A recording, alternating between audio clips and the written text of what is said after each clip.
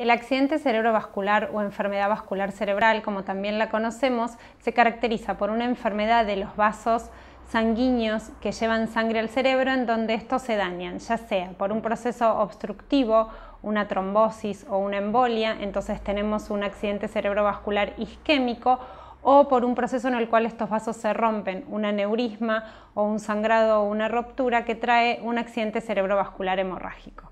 El accidente cerebrovascular es una de las terceras causas de muerte en la República Argentina, la primera de discapacidad parcial permanente y ocurren alrededor de unos 126.000 casos por año, una alta incidencia y mucha frecuencia. ¿Qué podemos hacer para mejorarlo? Dentro de los eh, tratamientos y de las conductas terapéuticas a tomar son la rehabilitación del paciente, la recuperación en terapia luego del proceso del accidente cerebrovascular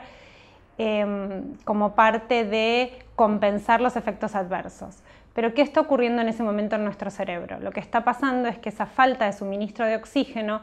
lleva a un proceso de isquemia y de hipoxia neuronal con daño de tejidos. Y eso va a poder generar diferentes tipos de secuelas en nuestro organismo. La terapia con oxígeno hiperbárico nos permite mejorar el terreno de circulación del sistema nervioso. Permite llevar oxígeno a las zonas hipóxicas, revertir ese cuadro de hipoxia, tratar la penumbra de las neuronas que están sufriendo, inducir neuroplasticidad, mejorar la función axonal a través de mejorar la función mitocondrial, recuperar la producción de energía por la célula, o sea, aumentar la producción del ciclo de Krebs, de la fosforilación oxidativa, de la cadena de transporte de electrones a nivel mitocondrial para revertir todo el proceso de estrés oxidativo celular, frenar la cascada inmunoinflamatoria que se desencadena como consecuencia de la isquemia y de la hipoxia y empezar a revertir el proceso. La posibilidad de generar nuevas conexiones axonales